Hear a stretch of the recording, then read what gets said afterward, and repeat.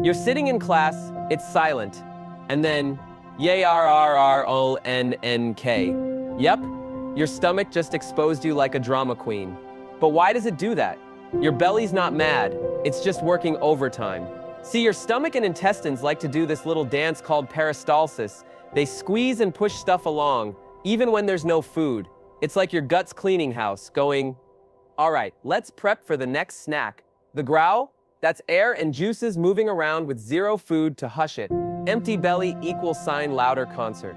But plot twist. This happens even when you're full. So yeah, digestion, gas, hunger, they all join in to make your belly beatbox like it's got something to prove. Want it quieter?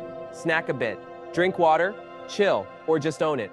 Everybody's stomach sings, okay? If your belly's ever betrayed you, hit like. Drop a comment with your funniest growl story and subscribe for more science with sass. Your gut